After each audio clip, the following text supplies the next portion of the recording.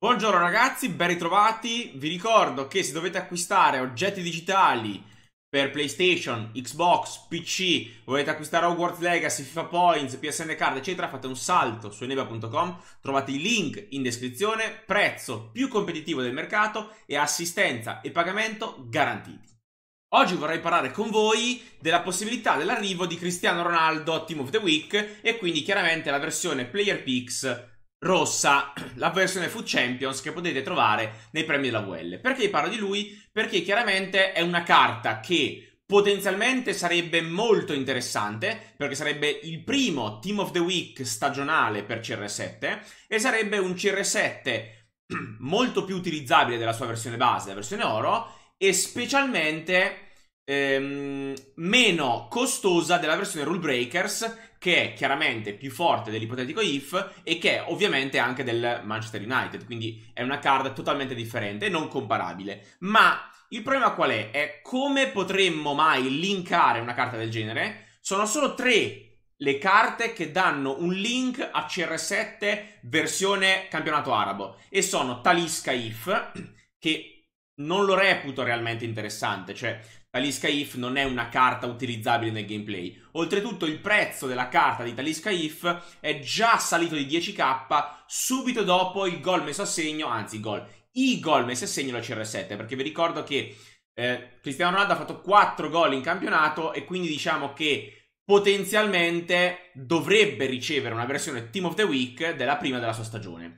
Ora, l'altra carta, le altre carte che danno link a CR7 sono quelle di Al Ovairan sia la versione Marvel che la versione Hero normale. Ora, la versione Marvel è ovviamente fortissima, è strausata nel gameplay e sarebbe la soluzione migliore per andare a linkare CR7.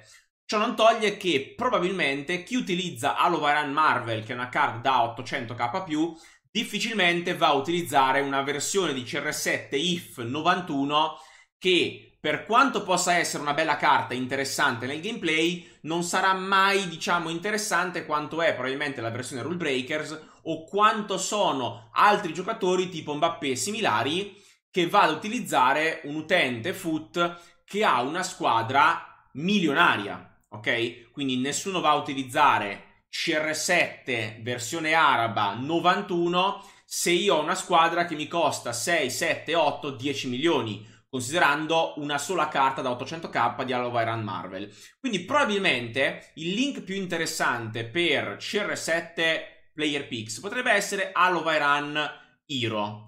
Ora, la sua carta è già lievemente in hype, perché nel weekend costava tra i 46 e 47 mila crediti, parlo di prezzo PlayStation Xbox attualmente, e oggi, che sto registrando, che è martedì 14, mattino, mancano 24 ore all'annuncio, leak, barra rilascio del Team of the Week, la card costa già 50k.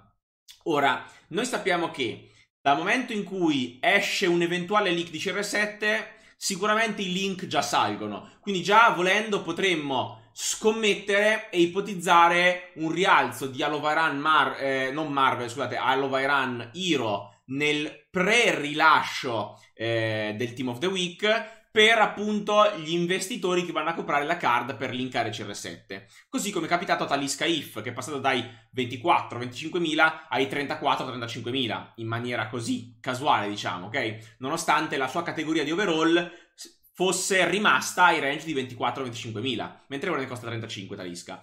Ora, il problema qual è? È, prima cosa, che sicuramente l'hype pre-rilascio porterà prezzi più alti per la card di Alovairan rispetto al prezzo post rilascio. Cioè, po- ipoteticamente noi potremmo avere un prezzo adesso di 50k, poi magari un prezzo di 55k pre-rilascio del mercoledì sera, poi un calo mercoledì sera perché gli investitori vanno a rivendere post hype la carta e poi nuovamente la carta andrà a rialzarsi tra giovedì, venerdì, sabato, quando la gente inizia a spacchettare CR7, eh, CR7 comincia a comparire sul mercato, il prezzo cala, la gente lo va a buttare in squadra, la gente lo va a trovare nei picks della VL nei weekend e per ibridarlo va a mettersi a fianco la carta di Alovaran Hero base. Quindi ipoteticamente potremmo vedere un prezzo di Alovaran che va dai 50k oggi,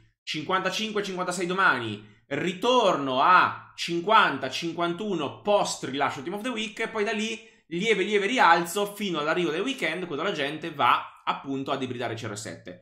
Ovviamente il tutto è legato all'uscita di Cristiano Ronaldo nella squadra della settimana. Se CR7 non arrivasse a TOTV, Talisca torna a 24k, Alovairan Hero base torna a 46-47k.